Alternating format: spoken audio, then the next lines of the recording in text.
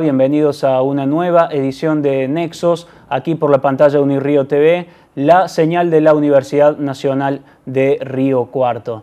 En esta ocasión la excusa es nuevamente una fecha que nos propone el calendario. Hablamos concretamente en que hoy se celebra el Día del Agricultor aquí en la Argentina por eh, una razón que es la fundación de, la de lo que se considera la primera colonia agrícola por inmigrantes. Para ello y para poner en tensión también un poco esta fecha y hablar de la situación de la agricultura en general, estamos con un productor agropecuario y también docente de nuestra universidad, hablamos de Claudio Demo. Claudio, muchas gracias por llegarte a los estudios de No, muchas gracias a ustedes por la invitación. Bueno, Claudio, comentanos acerca de por qué se celebra el Día de la Agricultura en día como hoy. Esto, este Día del Agricultor está mm, referido al hecho en 1856, cuando se inaugura la primera colonia agrícola eh, de extranjeros traídos a la ciudad de Esperanza, en Santa Fe, eh, que es un hecho, digamos, relevante del punto de vista de la agricultura pampeana, eh, porque ahí como que se empieza a construir lo que después será la, la etapa agroexportadora eh, basada en el trigo, maíz, lino que se exportaba.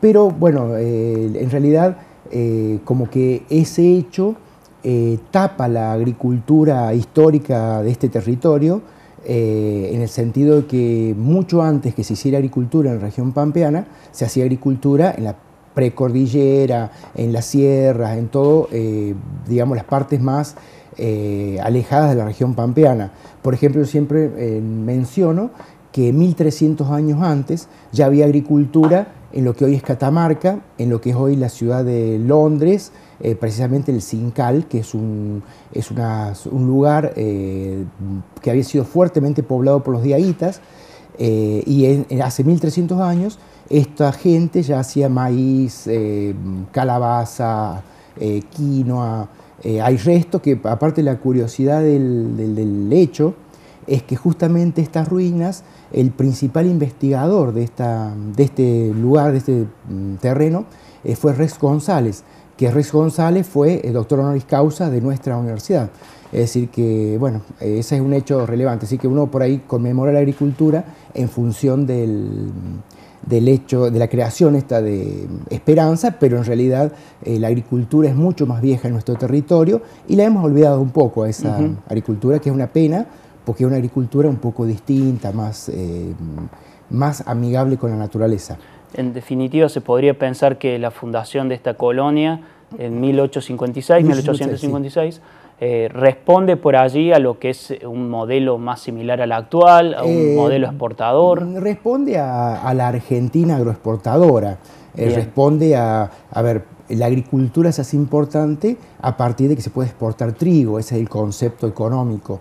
No obstante eso, la colonia de Esperanza eh, o todas las colonias que se hicieron de 1853 a 1861, me parece que son, que son un montón en Entre Ríos y Santa Fe, es un hecho también históricamente eh, muy relevante porque esas colonias fueron eh, entrega en tenencia permanente de la tierra, al igual que Estados Unidos y Canadá. En cambio, después de 1863, cuando ya se unifica Argentina bajo el gobierno de Mitre, eh, ya no, eh, nunca más se entrega tierra a los, inmigrantes, sino que van a trabajar de arrendatarios dentro de los latifundios de los que se repartieron las tierras previamente.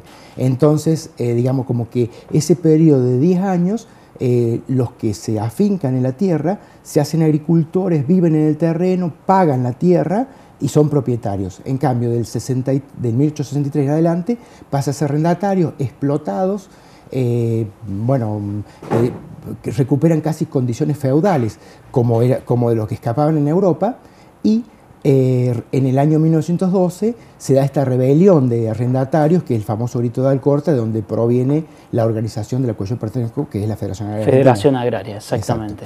¿Cómo están trabajando desde Federación Agraria? bueno, lo pasa que el, el actor principal de la Federación Agraria es justamente ese inmigrante que llegó con solamente sus manos y, después tuvo sus hijos para trabajar. E iba de arrendatario a, una, a un latifundio. En ese latifundio fueron, digamos, bueno, explotados, digamos, en términos generales, hasta el 1912, donde se da la rebelión. A partir de ahí empiezan, empezamos, digamos, a acceder a la propiedad de la tierra y el mayor acceso a la propiedad de la tierra se da en la década del 47, desde 1947 a 1952 más o menos. Y a partir de ahí, entonces la Federación Agraria ya no representa a arrendatarios, sino que empieza a, representar a eh, pequeños propietarios de tierra. Eh, ese pequeño productor de propietario de tierra, que llegó a ser en la década del 60 unos 360.000 en Argentina, eh, a partir del golpe de Estado, bueno, no antes, ya con las leyes de, Onganía y después del golpe de Estado, ese productor comienza a desaparecer. En los 90 eh, tiene una desaparición muy, muy grande y después también en la última década han desaparecido mucho. En concreto, hoy la base social de Federación Agraria posiblemente eh, no llegue a 70, 80 mil productores en Argentina, cuando en algún momento éramos 360 mil. Entonces, esa base social hace que, mm, eh, que, sea una institución más chica, con mayor representación en cuanto a territorio trabajado. Es decir, es una, es una institución que se achicó mucho eh, respecto a lo que fue en la década del 60, por ejemplo. En determinado momento también han tenido eh, acciones en conjunto con otras entidades agrarias. ¿Hoy en qué panorama está esa relación? no, hoy, a ver, vos te referís concretamente al 2008, donde hubo una, eh, una medida mm, eh, realmente muy poco estudiada que no, al no diferenciar a los productores entre los que eran grandes productores, los que eran pequeños medianos, eh, al no diferenciarlos los unió. Y esa, esa unión tuvo, esa lucha, defendiendo el supuesto interés rural, digo, en realidad era una lucha por la renta de la soja, donde tironeaba de un lado el Estado y del otro lado los productores. Lo que pasa es que los productores nos unimos eh, en función de esa lucha que estaba planteada, estuvo mal planteada, ¿no? Bueno, estuvo mal planteada no la lucha, sino eh, la medida que hizo que nos uniéramos en la lucha, ¿no? Claro. Bueno, pero esa unidad, eh, nosotros teníamos algunos intereses contrapuestos que venían de la época de los arrendamientos. Estamos hablando de eh, a ver, siempre contamos esto, en 1912, mientras que la Federación Agraria defendía a los arrendatarios, la sociedad rural argentina mandaba el ejército a reprimir. O sea que teníamos un conflicto histórico muy fuerte. Eh, y después, a lo largo de la historia, hubo tensiones. Eh, e, hubo un acercamiento en el año 75 con el gobierno de, de Estela Martínez de Perón, que era un desastre la situación económica, entonces, en ese contexto también hubo una, una unidad eh, enfrentando un gobierno que era caótico. Eh, pero terminado el, venido el golpe de Estado, de nuevo el trato es diferenciado, ¿no? Es decir, eh, los, pequeños productores volvemos a ser avasallados por Martínez de Oz y los grandes productores como que no son maltratados. y de hecho, la Federación Agraria termina siendo eh, la primera gran concentración de productores contra la dictadura, la hace Federación Agraria en el 80 en Villa María. Eh, se juntan 10.000 productores agropecuarios cuando estaba prohibido todo, eh, y bueno, cuentan los, viejos que viajaron a, ese evento, cuentan eh, cómo era el trato del ejército parándolos cada 20, 30 kilómetros, controles del ejército, bajaban a toda la gente de los ómnibus, los palpaban de arma, los amenazaban, los asustaban, les decían que no podían llegar, que tenían que quedarse el ómnibus al costado, y así fueron filtrados, filtrados, filtrados, pero llegaron 10.000 productores a, Villa, María, y en un estadio eh, se hace el acto que es la primera denuncia de lo que estaba significando económicamente el golpe de Estado de Videla. Claudio, eh, sí. Sí, pero termino la, pregunta, que hice todo un contexto para llegar a la pregunta. En la actualidad, entre las entidades estas, hay un diálogo formal, pero no hay eh, ningún tipo de acciones conjuntas. Claudio, te proponemos hacer una breve pausa y ya volvemos. Sí, con todo gusto. Hacemos una tanda, la primera aquí en este Nexos, y ya volvemos con más diálogo con el profesor Claudio Demo.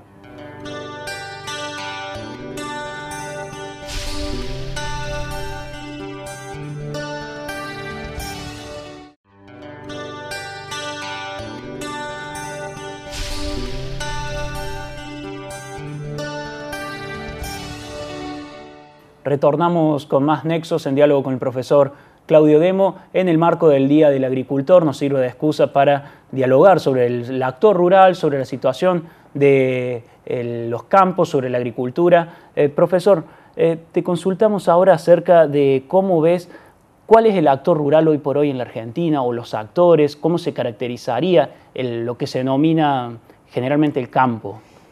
Y lo que pasa es que el campo eh, depende de la región de Argentina, ¿no? Pero la región pampeana, que es la económicamente más fuerte eh, o más relevante desde el punto de vista de los ingresos del país, eh, hay una concentración brutal de la producción. hoy como que fue muy sustituido este agricultor familiar del que estamos hablando por sistemas empresariales bajo distintas denominaciones eh, pero bueno, hay un despoblamiento rural muy fuerte.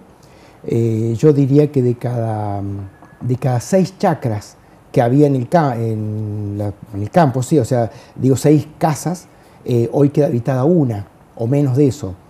digamos que hay una, nuestra sociedad en los últimos 30 años sufrió una urbanización fuertísima, superior incluso a la Europa, Estados Unidos, eh, y un abandono del campo en manos eh, de actores no tradicionalmente rurales, sino que en general han sido empresas que provenían de otros negocios eh, urbanos y en vista de la bonanza de la agricultura del, año 2003 al 2009-10, donde las materias primas triplicaron el precio internacional, entonces pasó a ser un super negocio lo rural, esos, esos actores entran en el negocio rural. Y hoy la mayoría de los eh, agricultores que quedan en el campo eh, son productores que atienden parcelas pequeñas propias y han comprado parque de maquinaria para venderle servicio a las empresas que han alquilado todos los campos de la zona. Claro, eso te quería consultar. La característica por lo general de estas empresas no siempre es la adquisición de tierras, sino... Eh, nunca. Nunca, nunca. Eh, mejor dicho, hay dos tipos de empresas claramente diferentes. Hay unas empresas que están relacionadas con la agroindustria, que sí han comprado muchas, muchas hectáreas y siguen comprando. Eh, y después están los otros actores circunstanciales que entran para el negocio, pero se pueden ir cualquier día que son los conocidos como pool de siembra, por ejemplo. En ese contexto, ¿la concentración de tierras es, sigue siendo un problema o no es un problema? Es brutal la concentración de la producción y es grande la concentración de la tierra. Como, son como dos fenómenos distintos. Una cosa es eh, la concentración de la producción a partir de tierras alquiladas. A ver, por ejemplo, el censo 2002 eh, para el departamento en el que yo vivo, eh, que es el Juárez Selman, que tiene 700.000 hectáreas, aparecen dos productores con más de 85.000 hectáreas. Eh, y de esos tienen más de 50 parcelas alquiladas. O sea que ahí tenés un clarito ejemplo. Y ese proceso se profundizó más adelante. Claro. Bueno, eh, no obstante, algunas de esas empresas eran propietarias de 20, 30 mil hectáreas en el lugar. Digamos que, y hace 50 años no eran propietarios de tierra, ¿no? O sea que compraron tierra, sobre todo en los 90, eh, compraron mucho. Después del 2003, 2004, que los campos eh, actualizaron su precio a valores internacionales, es decir, acá la tierra valía 1.500 dólares y pasa a valer 10.000 dólares. Cuando se ajusta el precio internacional a la tierra, dejan de comprar. Pero hasta antes de la actualización compraban mucha cantidad. Claro, claro. Es más, eh, yo creería, no tengo el dato porque no es fácil verificarlo, pero creería que la distribución de la tierra en la provincia de Córdoba ahora debe ser muy parecida al año 20, al año 30, o sea, como 100 años atrás, ¿no? Claro. Eh, la concentración. La concentración. Claudio, también eh, retomando tu actividad como Federación Agraria, desde Federación Agraria se han, eh, se han manifestado en contra de lo que ha sido una de las medidas del nuevo gobierno nacional como el tema de la extranjerización de tierras, la denominada ley de tierras y su modificación en realidad. Eh, justamente antes del 2003, cuando las tierras eran un regalo, aparecen algunos vivos eh, extranjeros, bueno, un caso más eh, paradigmático es el de Soros, que termina comprando en Argentina 300, 400 mil hectáreas, a precio previo al 2003 y las vende a precio posterior al 2003. ¿no? pero bueno, muchas, muchos, comprar tierra en Argentina era una ganga. Entonces muchos capitales extranjeros empezaron a comprar. digo todo en, este, en el contexto de la devaluación. Cuando se da la devaluación en el 2002, 2003, ahí en ese contexto se venden muchas tierras. Y después se sigue comprando con cuenta gota, ya no así masivamente, pero con cuenta gota. La ley de extranjerización de tierra habría que haberla sacado ocho años atrás, diez años antes, eh, como que llega tardía. Pero bueno, más allá de tardía, eh, bienvenida. O sea, tardía y leve. Aparte otra cuestión, es una ley contra la extranjerización y no contra la concentración tendría que ser las dos cosas, extranjerización y concentración. Porque por ahí, hacía un chiste una vez, una persona decía, eh, bárbaro que no vengan los extranjeros a comprar, compramos nosotros los grandes empresarios. O sea, como que por eso tenía que tener las dos cosas. Pero bueno, la ley salió solamente contra la extranjerización. Esa extranjerización, eh, en algunos lugares, en muchos lugares, no recuerdo ahora, pero sí me acuerdo el sur de Neuquén, alrededor de, Machu, de mm, Lago Titicaca, no, me estoy. No. de Nahuel Huapi. De Nahuel Huapi. Eh, toda la zona, no sé cómo se llama, el un departamento del Nahuel Huapi, eh, ahí estaba duplicado el área que se podía comprar los extranjeros. Claro. O sea que estaba hiper extranjerizada. Después muchos lugares en Mendoza, eh, bueno, en la Patagonia, en Corrientes. Había muchos lugares en Argentina donde estaba hiper extranjerizado, o sea, está por encima de la ley.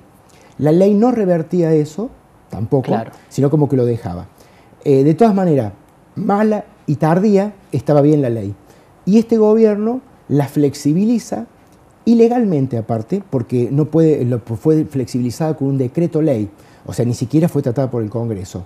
Eh, entonces, como que amplió de nuevo las hectáreas que pueden comprar los extranjeros, eh, que es un problema. A ver, yo lo que imagino que no es una intención de consolidar la ley, sino es abrir una ventana para que alguien arregle algunos negocios y después cuando vuelva al Congreso, porque eh, hacer un decreto de ley tiene que ser ratificado por el Congreso. Por el Congreso. Cuando vuelva al Congreso, el Congreso va a decir, no, no se puede hacer eso.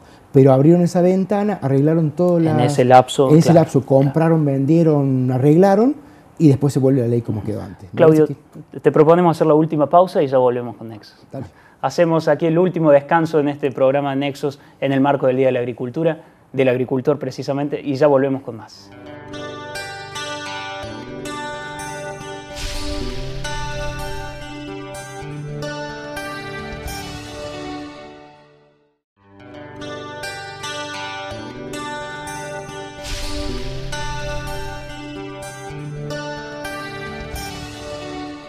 Volvemos con más nexos en diálogo con el profesor Claudio Demo en el marco del Día del Agricultor. Claudio, retomando algunas cosas que nos comentabas en el primer y segundo bloque sobre esta discusión en torno a la concentración de la producción, eh, ¿es posible pensar un debate más allá de la concentración de la producción o la puja distributiva y pensarlo en el cambio o crítica a la matriz productiva? Eh, yo creo que el contexto político actual argentino y te diría mundial eh, no está mm, eh, bueno para cambios estructurales en el acceso a los recursos naturales. De hecho, en estos días se está por discutir una ley de semillas nueva y bueno, mi posición es conservadora, no tocar la ley que existe porque cualquier cambio que se le haga a la ley que es mala va a ser peor, porque la situación de ideológica, política, económica, hace que, que cualquier cambio sea a favor de las grandes capitales concentrados y en detrimento de los pequeños agricultores, de los trabajadores. Es decir, que eh, yo no le veo en este momento eh, muchas posibilidades a, avanzar en leyes que restrinjan la concentración, que sería imprescindible. O sea, sería, eh, a ver, Argentina eh, me parece que tiene una urgencia de tener un millón de productores, no los 300.000 que hay hoy. Es decir, si nosotros pudiéramos tener un millón de productores agropecuarios viviendo en pueblos y en el campo, tendríamos un país mucho más sustentable, eh, es decir, eh, podría diversificarse la producción, del punto de vista energético, del punto de vista, no sé, de la organización social, eh, la población, el pequeño pueblo es muy superador de una gran ciudad, ¿no? Yo siempre digo que eh, hay que desurbanizar Buenos Aires, hay que achicar las ciudades. No se puede tener ciudades monstruos porque son eh, un, absurdo energético lo que hay que inyectarles de energía, de comida, de recursos, para que después esto vaya a las cloacas y al río. Eh, y no, no, no cierra una sociedad así. Entonces digo, a mí me parece que estamos yendo en el sentido absolutamente inverso al que debiéramos ir. Debiéramos ir hacia un país con un millón, más de un millón de productores agropecuarios, viviendo en pueblos y en el, en el campo, eh, y una distribución de la tierra más, eh, menos injusta que esto que hay. Igual, y entonces eso también daría, porque hoy, hoy uno de los problemas que hay hay una brutal también concentración de los tipos de cultivo. Es decir, más de la mitad de la agricultura argentina está haciendo soja, eh, que es un cultivo, eh, digamos que en la forma que se está haciendo está, es altamente insustentable.